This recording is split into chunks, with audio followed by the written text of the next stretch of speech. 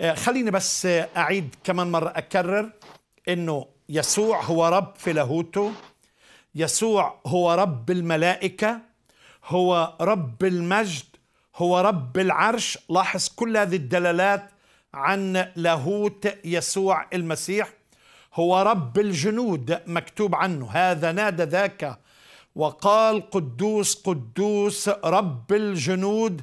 مجده ملء كل الأرض. إشعيا 6 3 لكن برضه في العهد الجديد يوحنا بيتكلم مع ما قاله إشعياء حين رأى مجده وتكلم عنه. يعني المجد اللي بيحكي عنه في إشعياء قدوس قدوس قدوس قدوس الآب قدوس الإبن قدوس الروح القدس حين رأى مجده.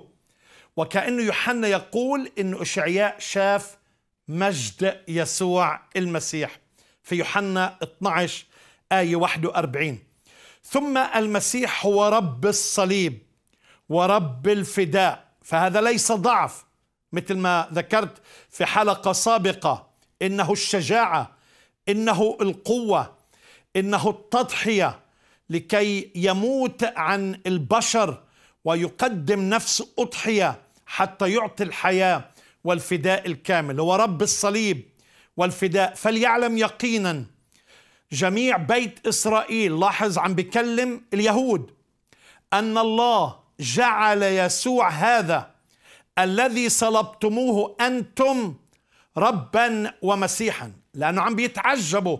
التلاميذ كانوا متخبيين خائفين مرتعدين. فجأة بطرس الرسول عم بيكرز في يعني بين جبل صهيون وجبل الهيكل في منطقة كانت العيد يعني عشرات إذا مش مئات الآلاف من الناس عم بيكرز بالبشارة ويقول لليهود يعني أنتم يعني صلبتموه الذي صلبتموه أنتم حقيقة صلب يسوع المسيح وما حدا اعترض عليها من كل الآلاف الموجودة الموجودة أحبائي.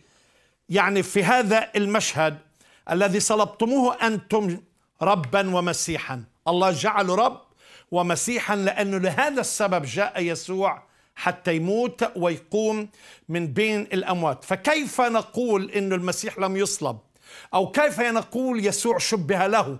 مع أنه يتكلم أمام عشرات الآلاف من الشهود اللي عاينوا وشاهدوا هذا الحدث الكبير وهو صلب يسوع المسيح.